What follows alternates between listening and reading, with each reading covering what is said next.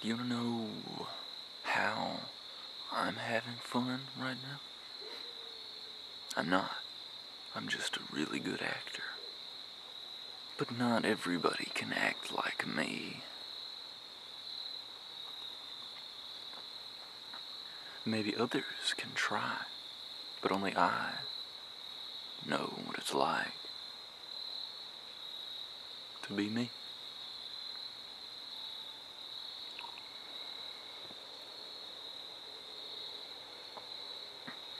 So I'm out here today talking about these things that I feel like talking about because of one man in particular, and he knows who he is, who enjoys these videos, who gave me the idea to make these videos, and made me realize that there are people on this planet that could benefit from the bits of completely displaced, disconnected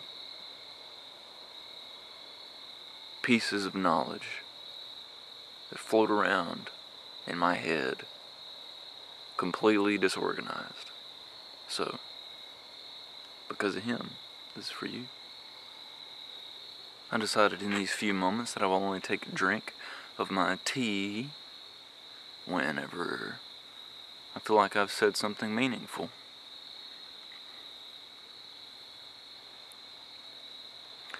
For a while, I thought, oh, I can't be out here doing this. This is something everybody else does. So many hundreds, hundreds, hundreds, thousands, thousands, maybe, maybe more, maybe less. I don't know. And I'm not really that interested, but I do know that there are at least hundreds of other people on this platform uh, pointing their face at the camera, talking about whatever, a lot of times talking about stuff that don't even matter. Oh, wait a minute. That's what I'm doing. So I would be completely appalled to be doing such a thing that so many other people do because they saw somebody else doing it and they said, oh, I want to do something like that. Mm. And um, I don't really like seeing that. It makes me sick for some reason. Um, I could think about it some more, but really I tend to think about things I like to think about, and I don't like to think about how hundreds of people stick their face in a camera, just like I'm doing right here, doing the same thing that everybody else does, and then I realized I'm not everybody else. And then I thought some more. When people say women, or when people say men, hmm, now that is very, very interesting to me indeed. Oh, it is. I don't think that is politically correct. You cannot say women. You cannot say men. You can say, now that is a man over there, and that is a man over there, and that is a woman, and that is a, whoa, man, that's a woman right there. But you can't say that's women. You can't say that's men. Because we, a person, one individual, which is what I am, a single man who happens to be not single, but I am one man. I am not plural. I am not plural men. I am not men. I am a man. I am one man. And as one man, I have only known what it is like to grow up in this one man's body, to play around with my man's genitals, with me, my man's. I am this body is my man. This is who my man is, is this body right here. But I'm not gonna live in this fucking body forever. And I praise and pray that I don't. You know, because, uh,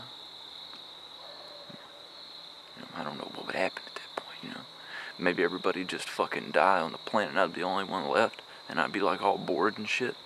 You know, just be sitting there making amazing, wonderful art pieces with only myself in them. And uh, nobody else would get to see them until an alien species came down and, and observed what I'd created and then gave me riches and gold. Which would do me absolutely no fucking good because what I'd want is human interaction. Which is actually why I don't smoke of the weeds no more. I don't smoke of the weeds no more because I can't communicate with people when I do. Like, got wonderful things going on in here. Wonderful amazing that I just love, love, love, love, love.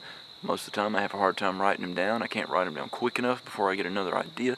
I think that may be because I do not meditate and calm my mind, relax, let the ideas come, let the ideas go, so that I can let these processes that are normally quickened throughout the day slow to a manageable pace. And then maybe I can look you in the face and I can say something that actually makes sense. I am one man, and as one man, the Corvon H. Lord Hayes. I only know what it's like to grow up in this body. I don't know what it's like to grow up in many bodies because, you know, I'm not many people. You know, I may be connected with everything just like you are. And just like all these other plants are, getting to watch us act like fucking fools. That's alright though, because they're completely content not acting like a fucking fool. And we, as people, us men and women, are completely content acting like fucking freakazoids up until the point we finally realize that we don't have to act like freaks just so that somebody will pay attention to us and give us a little bit of attention and rub their hand across our cheek and pat us on the head and squeeze our ass in a way that we appreciate.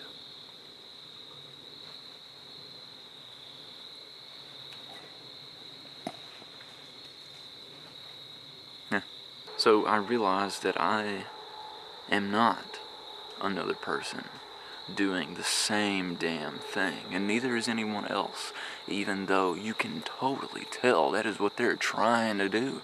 They're trying to be like everybody else. Now, there's somebody, somebody I appreciate, and uh, this lady does not appear to be trying to do anything like anybody else. Anna Akana. Now, she doesn't seem like she's trying to do anything like anybody else. Now, um, there's some other people, people that I will not mention the names of because I don't appreciate them as much as I appreciate Anna Akana. Now, that is a talented woman, and I appreciate what she does, and I feel it in my heart, and it gives me the tickles to see her feeling good, and I love it. Love it. I'm definitely not just another man out here doing something that men do. No, I don't think so. That's not what I feel. Uh uh And uh, as long as I've been living, nobody has ever accepted me as part of something they do unless they see what I am and feel, and they say, Whoa, there's something about that guy. He's got the look, he's got the feel. There's something about him that we need in what we're working on. And I feel kind of like I'm being used, you know? But that's alright. Sometimes I like to be. But isn't that interesting? When I'm using you, who's using me to get what you want, but I'm using you, who's using me, so that I can feel good, because sometimes I like to be used in that way. Hmm, do you feel used? I put these things up here so that you'd see them. I almost wasn't going to, but the deal had already been struck. My beautiful friend, who is a man, and Anna Akana talked about kissing a friend who is a man, who the lips of touching that man on the forehead would do because they just fucking love each other like they're the best of friends. But not in a way like, hey, I want some of that dick. Which is, you know, seems completely not romantic at all, you know. Like, uh, just like saying, hey, give me some of that booty. I mean, like, what the fuck is that? Is that supposed to be romantic? Is that supposed to feel good? Come on. I want more than a little shape. I want somebody that's got something going on in here, you know. Not to say that there's not something going on in there, but to say that some people don't cultivate that beautiful garden they have in their mind. And they don't. let it wither away and crisp and die, and flutter away in the wind. And it's beautiful to see that too, because then something else sprouts up from that. Because somebody saw that poor person fucking die. And they said, damn, you know what? I'm not going to live like that. I'm going to take that. I'm going to use that image of that poor fucking person. And I'm going to live better. If only, at least, to honor that person who could have had everything they wanted and they let it go. I'm gonna live my life the way I want to because I know, baby, I'm gonna fucking die one day. And I'd rather it be that way.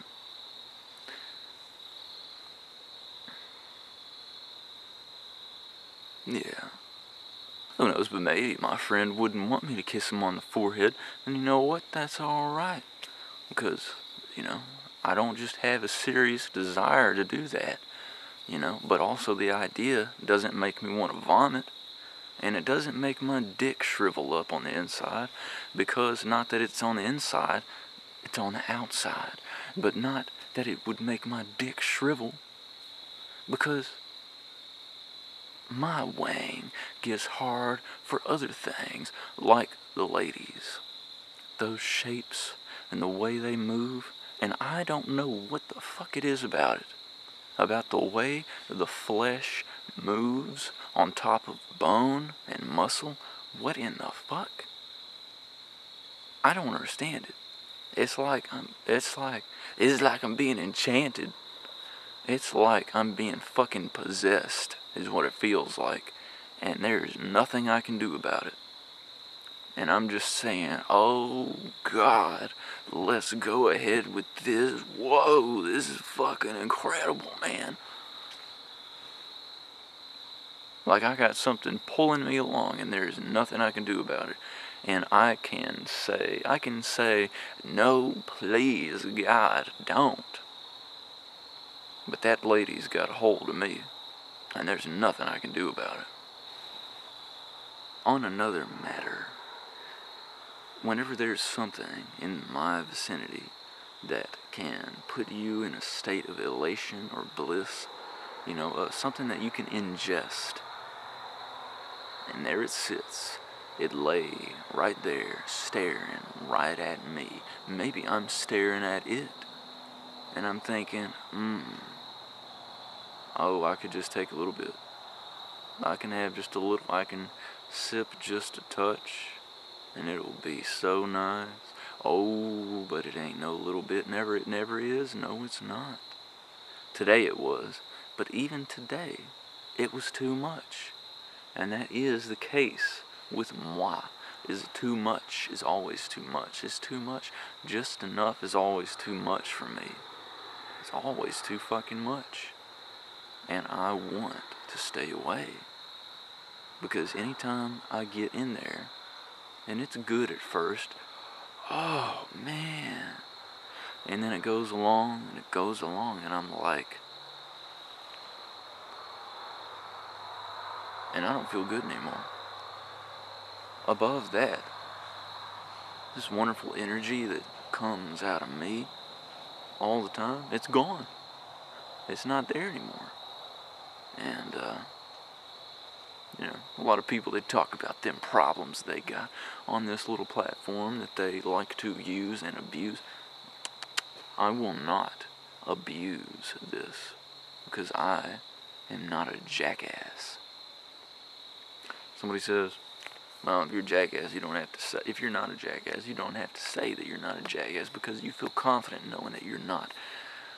I think about the way some people think about how sometimes they like to think that people are jackasses even though they're not. Really, the only reason I brought it up is I think it's interesting. But sometimes the things I think are interesting lead absolutely nowhere. And by the time I come out of it, I'm like, what in the world was I doing? Because I don't have anything meaningful of what I just went through to hang on to and go, wow, you know what, that was just, that was just fucking great. I don't have nothing like that. It is just one little piece, one little moment that had fluttered away into the wind and it is gone and it won't come back. And I have nothing to remember it by. Do you know how many moments I've had in my life like that? A lot. Like, woo, way, way, way, way, way more millions of moments in my life like that that I can't even remember. Precious gems that are gone forever that I don't even care to think about anymore because I've already run through them and it's already over with. But they were great when I thought about them and they're all gone. Millions, millions, millions of those moments gone that I can't remember. Way more than any bad moments in my life. You know?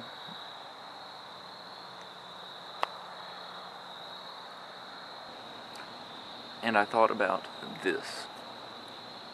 I don't know of any other guys, oh, of any other guy that stands out under a street lamp light and talks to the camera with all these nice shapes and angle. And you know something interesting? I was inspired by a person named Kimberly um, a long time ago because of her artwork and her photographs she took. I was inspired by this person, this woman to start doing things of my own, creating. Again, inspired me to create, to draw again. It had been many, many, many, many, many years since I had drawn anything on purpose, you know, with reason. And this woman inspired me to do so. Inspired me to take photos. And I did. And the first thing I did,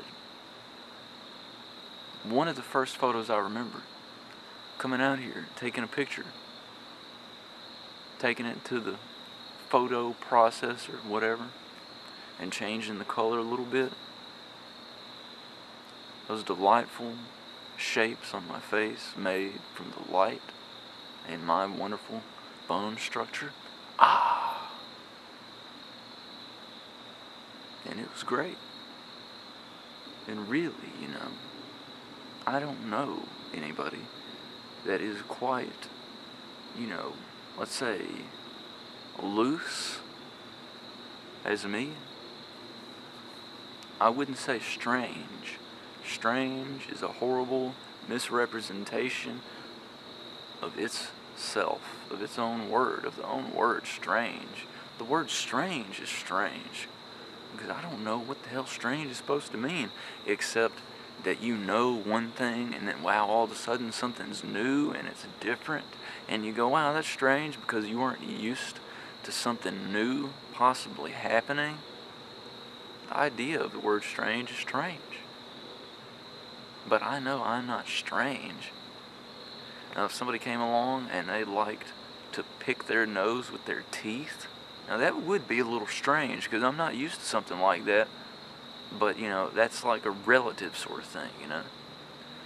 But I am not strange, whatever that's supposed to mean. People are not strange, except to say that one person is not used to seeing somebody act in a different way. So I'm not strange. But I have never known anybody as loose as me, you know, like a, it's like I won't stay put, you know. Um, it's like I want to stand out because I know I do stand out. But I don't have to want to stand out because I already do. You know? so, I don't have to try. I don't have to tell people to stand out. You should just focus on what it is you want, what you like, but I will say this if what you want and what you like gets in the way of what someone else wants or likes, and if you can't replace what they want or like with something that they want or like even more, you better stay far the fuck away. Because you're going to get yourself hurt. And uh, I've already been there. And I've gotten hurt. Oh, baby. Pretty bad. Why am I proud about that? I don't know. I think it's just because I've never known anybody like me to have gone through something like I did, something like I have, and to stand so tall.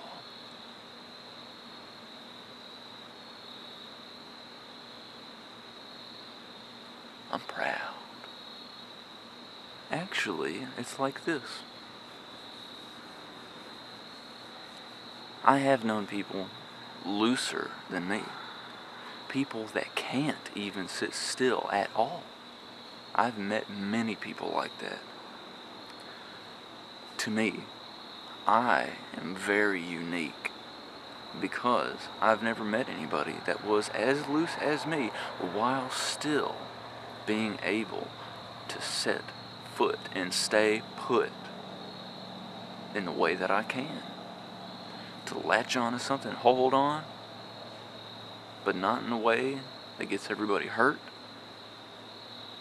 There are people that are so loose that they will latch on to something and they will latch on for dear life and they will ride it out to the end and by the time they get there they turn around and everybody they fucking love that loves them is screaming at them because they won't stop. And that is what drugs do to a lot of people. Oh man, it's talking about them drugs. I ain't used to this shit. That's strange. Anyway, drugs can do that to people very easily, and it happened to me. And if you don't know what drugs are like when they interact with you, it could happen to you. Oh, I know it's not going to happen to me because I'm fucking smart and I know how to do my stuff right. Well, except until you get that wonderful, nice elation and bliss running through you, and damn, you just feel good and feel like doing things you never thought you could. Woo! You are going to act a little bit different than you normally do, and you'll be thinking a little bit different than you normally do. And that's dangerous. At least I think it is. Because, baby, I was dangerous. Maybe I just feel so proud because I came back. I'm here now. I'm back. Baby, I'm back. I'm home. I left. I went on a journey. I went far the fuck out there. And I got lost and somebody had to send a ship out into space to come in and get my ass. And it was my mom, it was my brother, it was my sister, and it was my wife. And once in a while, it was actually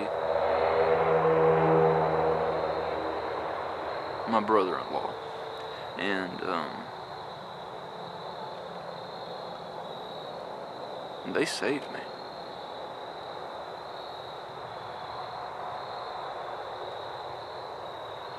Yep. They did. And I'm here. And I don't think I'm going anywhere.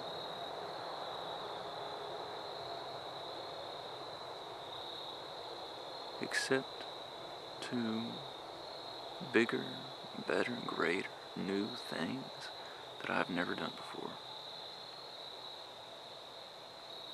Safely because now I know how to work with my mind.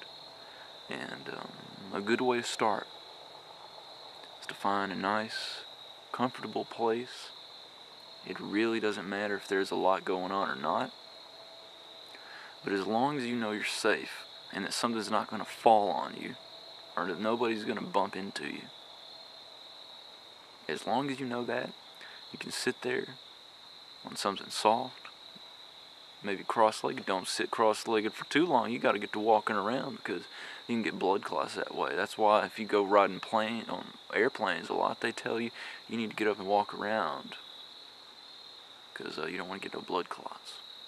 So, you know, but uh, you know, blood clots are also a bigger problem if you, you know, eat things with cholesterol in it. Because, you know, your body makes all the cholesterol you need. So, you know, you might just be fucked. And uh, a lot of people are. And there's not anything you can do about that when you already are fucked. So, you know, you can you can prolong the little bit of life that you have left. You know, I'd like to spend time with my niece, with my aunt, with my grandmother, with my father, with my mother, with my wife. You know, instead of eating this fucking cheeseburger, you know. You know, uh, I don't understand how anybody smokes, you know. I don't understand that shit because, you know, maybe there are runners out there that smoke, but god damn it, I love to run. And uh, when I smoke, I don't want to fucking run. You know, even though I'd like to. Oh, I'd like to be doing this thing that I wish I could, but I can't because I do this other thing that I love to do. And I can't stop doing that because I love it too much, even though I want to be doing this other thing so bad. Oh, my life is terrible.